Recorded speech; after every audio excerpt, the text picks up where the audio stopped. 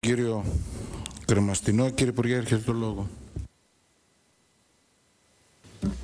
Κύριε Κρεμαστινέ, ούτε κατά διάνοια δεν θεώρησα ότι κινείστε από μικροπολιτική ή αντιπολιτευτική διάθεση.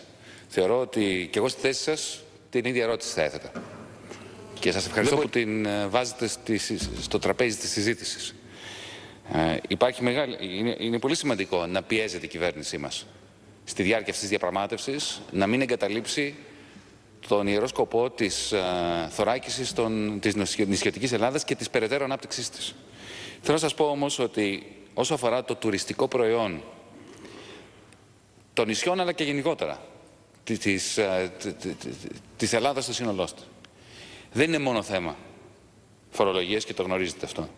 Υπάρχουν πολλά που πρέπει και μπορούν να γίνουν έτσι ώστε να αναβαθμιστεί για να μην θέλει ο άλλος, να μην το συζητάει καν να πάει στα διπλανά παράλια και ας είναι, υπάρχει μια μικρή διαφορά γιατί ξέρετε δεν μπορούμε να εμπλακούμε σε έναν ε, αγώνα δρόμου προς τα κάτω για το ποιος θα έχει το χαμηλότερο, χαμηλότερο ΦΠΑ με μια χώρα σαν την Τουρκία, με μια χώρα σαν την Κύπρο, με, άλλες, με άλλους φορολογικούς παραδείσους.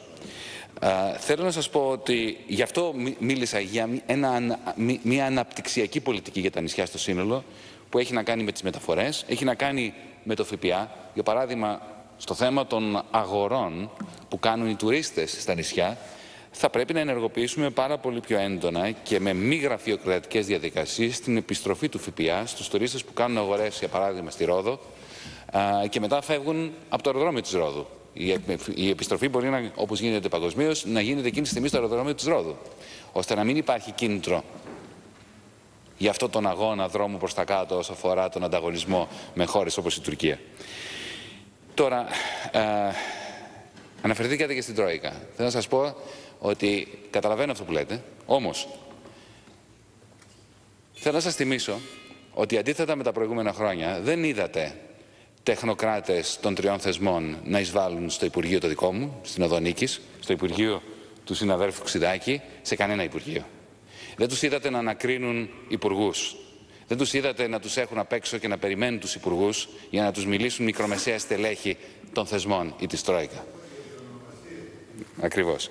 Γι' αυτό εγώ κάνω το διαχωρισμό μεταξύ των θεσμών και της Τρόικα. Αλλά αυτό που έχει σημασία, πέραν της ε, σημειολογίας, αυτό που έχει σημασία είναι η Ευρώπη, επιτέλους, να ανακτήσει την αυτοπεποίθησή της και να μπορούμε αυτές τις συζητήσεις για το ΦΠΑ στα νησιά, για παράδειγμα, να την κάνουμε με τους Ευρωπαίους εταίρους μας στη βάση του κοινού ευρωπαϊκού κεκτημένου, στη βάση του κοινού ευρωπαϊκού συμφέροντος, στη βάση κοινών ευρωπαϊκών αξιών για το τι, πώς πρέπει να αντιμετωπίζονται οι Ευρωπαίοι νησιώτες, όχι οι Έλληνες νησιώτες, σε σχέση με τους Ισπανούς νησιώτες.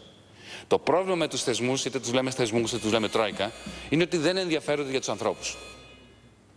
Γι' αυτό χρειάζεται αυτή να είναι η τελευταία διαπραγμάτευση με τους θεσμούς και από εδώ και πέρα να διαπραγματευόμαστε με την Ευρωπαϊκή Επιτροπή στο πλαίσιο των ευρωπαϊκών θεσμών, στο πλαίσιο της ευρωπαϊκής νομιμότητας και όχι στο πλαίσιο ενός παρανομικού, αδιαφανούς α, πλαισίου διαπραγμάτευσης, το οποίο δεν εμπίπτει και τελικά δεν συνάδει καν με τις ευρωπαϊκές αρχές.